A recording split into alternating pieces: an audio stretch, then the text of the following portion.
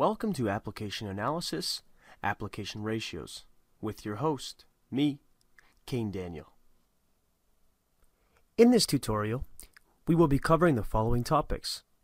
Loan to Value, or LTV, Gross Debt Service, or GDS, and Total Debt Service, or TDS. So, let's get started.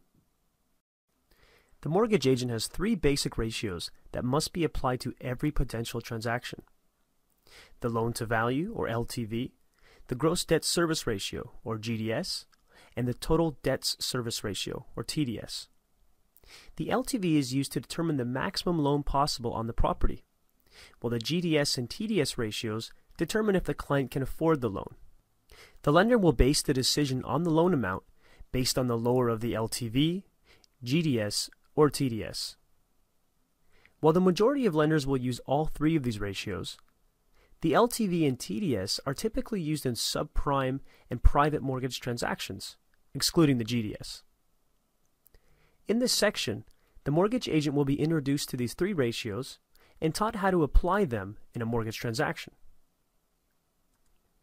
Section 1 Loan to Value The loan to value is the amount of the loan in dollars in relation to the value of the property in dollars. This is then expressed as a percentage and is typically rounded off to two decimal places, unless it's an exact number. For example, if the loan to value is exactly 90%, there is no need to show any decimal places. Lenders use this ratio to determine the maximum loan amount for a given property based on specific type of loan product that is offered by the lender. There are two calculations when using the loan to value. The first is calculating the loan to value of a mortgage. The second is using the loan to value to determine a maximum mortgage amount. So let's look at how to calculate the loan to value of a first mortgage. In this scenario, a client would like the first mortgage in the amount of $270,000.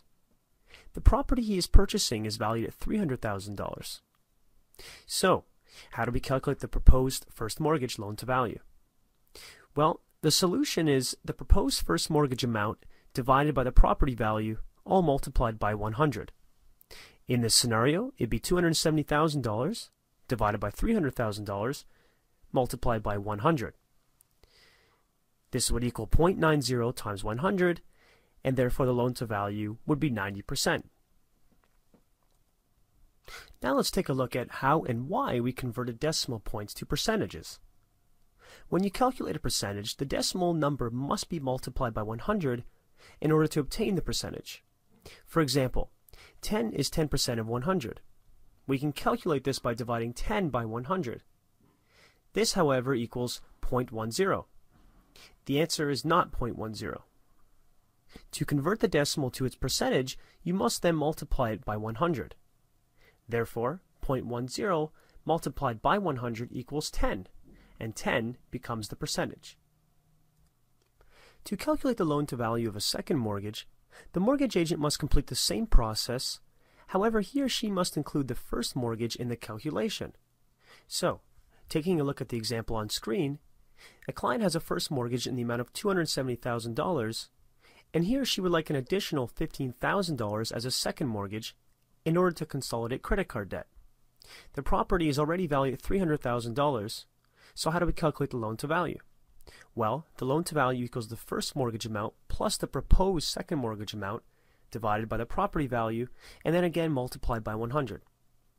In this case, the loan to value would therefore be $270,000 plus $15,000 divided by $300,000 multiplied again by 100, which leaves us at $285,000 divided by $300,000 multiplied again by 100, which would equate to 0.95 times 100, and thereby leaving us at a proposed loan to value of 95%. When using the loan to value to calculate a maximum mortgage amount, the mortgage agent needs to know the loan to value that is offered by the lender, as well as the value of the property. The formula for determining the maximum mortgage amount using the loan to value calculation is as follows. So it's the maximum mortgage amount equals the loan to value divided by 100 multiplied by the property value. So, if we look at the example on screen, a borrower wishes to purchase a new home and has asked you to advise him as to what the amount of down payment he requires. The purchase price of the home is $400,000. and you have determined that the borrower qualifies with a lender who offers a 95% loan to value maximum. So based on this information, we can follow the solution that the maximum mortgage amount equals 95% divided by 100 multiplied by the property value, which in this case is $400,000. If we go along, we can see the maximum mortgage amount would equal 0.95 times $400,000, and therefore the maximum mortgage amount would be $380,000.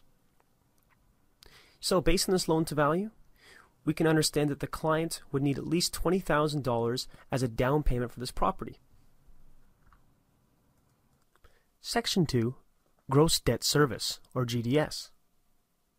The GDS is designed to determine if the potential borrower can afford the proposed mortgage payment based upon their income or combined income if there is more than one applicant. The GDS combines the cost that a potential borrower has regarding shelter and divides that cost by his or her gross income. So, if we look at the, how to calculate a gross debt service ratio, the GDS is calculated using the following equation. GDS equals PITH plus 1 half condo maintenance fees divided by the gross income and then multiplied by 100. The PITH represents the principal, interest, property taxes, and property heat. It is important to note that when calculating heating costs, the mortgage industry uses a standard amount of $75 per month for heat on any property. Although heat does vary from property to property, this is a standard amount and is applied to all debt service ratio calculations. So let's look at an example of how to calculate a GDS.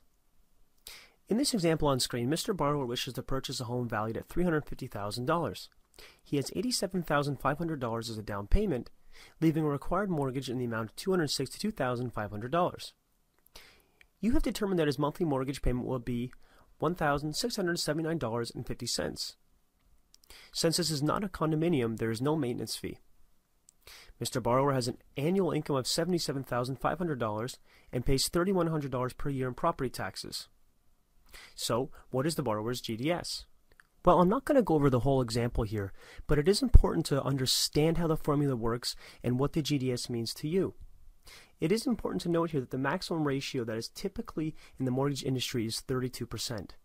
What this means is that 32% of a potential borrower's gross income may be used to service his or her shelter costs.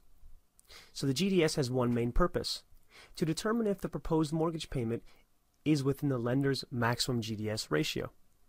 In this case, we can see that it is because it's at 31.17%. Section 3, Total Debt Service, or TDS. Similar to the GDS, the TDS is designed to determine if the borrower can afford the potential mortgage payment. However, this calculation also includes all other debts that the borrower has. For a list of examples of these debts, please consult the manual on page 13. The TDS also has two main functions. It can be used to either pre-qualify the borrower by determining the maximum mortgage payment that the borrower can afford, or verify that the payment qualifies by determining if the potential mortgage payment falls within the lender's TDS ratio. Now that you know how to calculate a TDS, the following illustrates a scenario in which you must calculate the total debt service. The following can also be seen on pages 15 and 16 of the manual. I would encourage you now to uh, pause the presentation, read through the scenario, take any notes you might need, and then move on to the next slide.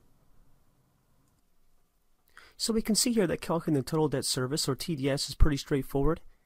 Uh, these two people would have $2,099.59 in the proposed mortgage costs, plus $75 in heat, and then some additional costs, uh, car payments, student loans, as well as credit card payments. And then obviously they have their property taxes at 3,100 per year. So we take this and divide it by their income and then multiply it by 100 in order to get the total debt service. In this case, if you do the calculations, it comes out to 38.28%, which means that Malik and Nancy did qualify for the mortgage uh, based on the lender's TDS requirement, which was 40%. And that brings us to the end of this tutorial. Please ensure that you read the chapter and that you complete the chapter review questions. Answers to those questions are at www.remic.ca.